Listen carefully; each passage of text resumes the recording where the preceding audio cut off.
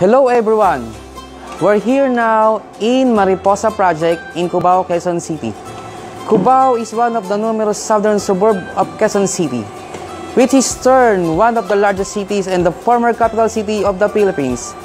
Mariposa Project is located in First Avenue, Camp It's around 8 minutes away from Cubao Farmers and around 2 kilometers away from the project. Surrounded and commercial center with plenty of offices and restaurants, hotels, various kind of entertainment facilities, and school.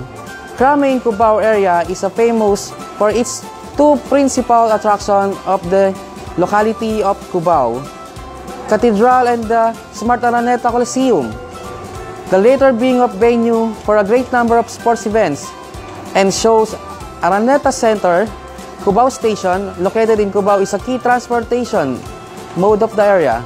Mariposa Project has composed of 20 units of two-story concrete townhouse with a lot area of minimum of 105 square meters up to 152 square meters with a floor area of minimum of 220 square meters up to 220 square meters.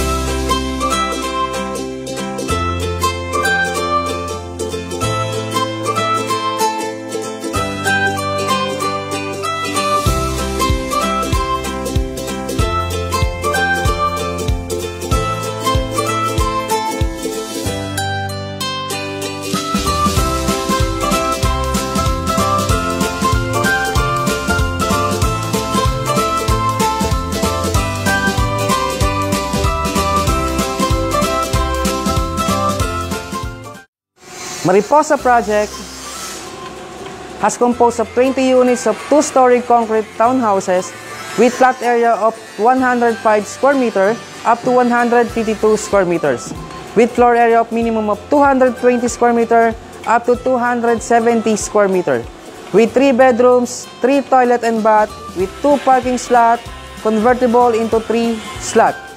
If you are interested for this project, please feel free to contact us. My name is James De La Rosa from Rebase as we aim to be your first choice company to provide you excellent service and turn your dreams into reality by helping you find quality homes.